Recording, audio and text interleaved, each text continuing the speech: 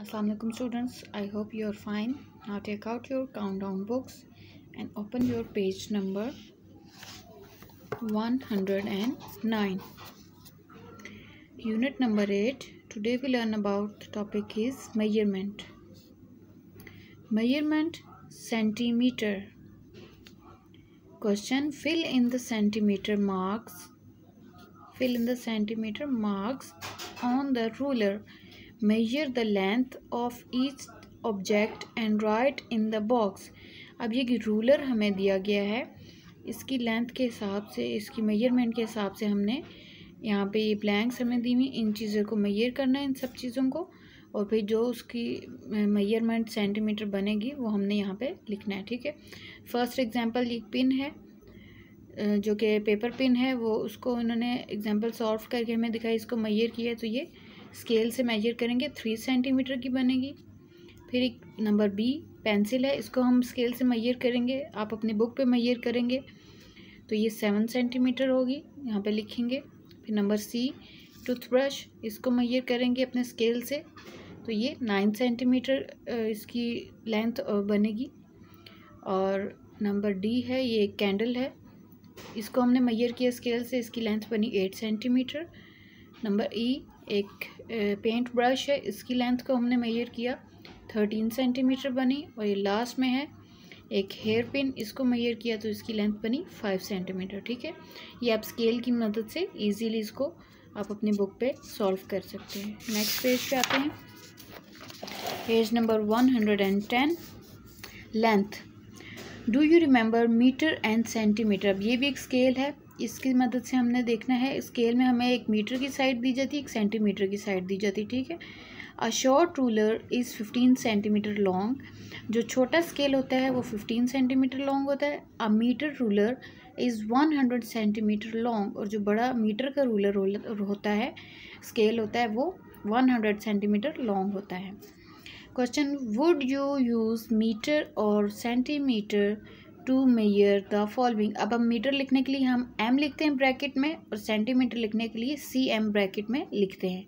Short form number a the length of your classroom हमारी classroom की length जो होगी, यानी कोई भी बड़ी चीज़ जो होती है साइज़ में लेंथ में तो उसको हम मीटर्स में लिखते हैं, ठीक है? वो मीटर्स में उसकी लेंथ काउंट की जाती है.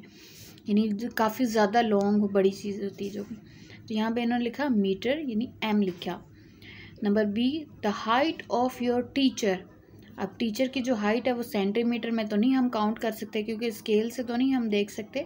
तो वो मीटर से ही बिनी लॉन्ग जो रूलर होता है उसी से देखी जा सकती है। तो यहाँ हम लिखेंगे मीटर यानी M number C the length of your pencil अब पेंसिल की जो ये लेंथ है, जैसे मेरे हाथ में पेंसिल है, ये मीटर्स में नहीं आएगी।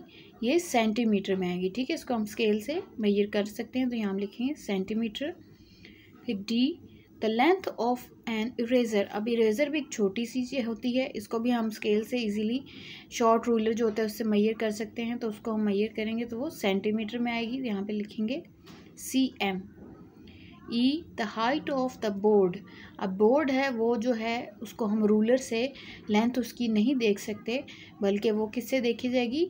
जो मीटर का रूलर होता है, बड़ा लॉन्ग रूलर जो होता है, उससे देखते हैं तो वो वहाँ पे हम लिखेंगे मीटर एम लास्ट है the length of your foot अब हमारे फुट की जो लेंथ है, वो हम स्केल से मैयर कर सकते हैं, क्योंकि स्केल जो होता है फिफ्टीन सेंटीमीटर लॉन्ग होता है। तो यहाँ पे हम लिखेंगे सी एम ठीक है? इसको आपने सेम ऐसे ही करना है। Number two question take a ruler measure these lines write the length of each अब ये अब रूलर लेंगे, उसकी हेल्प से हमने इसको लाइंस को मैयर करना है और ऊपर लिखना है। फ़र्स्ट एग्ज़ाम्पल इन्होंने सॉल्व की हुई है फोर सेंटीमीटर इन्होंने इसको रूलर से किया तो देखा ये फोर सेंटीमीटर की लाइन थी। अब बी वाला हमने रूलर से जब इसको मैयर किया तो ये हमारे पास पूरी एक सिक्स सेंटीमीटर की लाइन आई। यहाँ पे मैंने लिख दिया सिक्स सेंटीमीटर अब सी वाली जो है थर्ड क्वेश्चन uh, इसकी जो लाइन को मैंने मैयर किया तो ये हमारे स्केल में मेरे पास थ्री सेंटीमीटर नंबर पे आया तो यहाँ पे हमने थ्री सेंटीमीटर लिख दिया। ठीक है? क्वेश्चन थ्री जो है ये कॉपी वर्क है ये हम बाद में करेंगे क्लासरूम में। अब नेक्स्ट आ जाते हैं page number one hundred and eleven length changing centimetre to metre baby crocodile was the next year it grow at two year it was. 72 centimeter long at one year 49 centimeter 121 centimeter long remember one centimetre long. Remember, one metre is equal to one hundred centimetre. एक metre में one hundred centimetre होते हैं, ये आपने चीज़ अपने जहन में याद रखनी है। Okay, so baby crocodile was one metre twenty one centimetre long when it was two years old. किस तरीके से पहले उसकी लेंथ थी? One hundred twenty one centimetre is equal to one hundred centimetre plus twenty one centimetre. अभी मैंने बताया कि वन मीटर में कितने सेंटीमीटर होते हैं? हंड्रेड। तो यहाँ पे इसको हमने डिवाइड जब किया one hundred twenty one centimetre को तो उसको हम लिखेंगे one hundred centimetre and twenty one centimetre, ठीक है? तो इस तरह से बेबी क्रोकोडाइल की जो एज होगी लेंथ होगी वो one hundred and twenty one centimetre. Long होगा।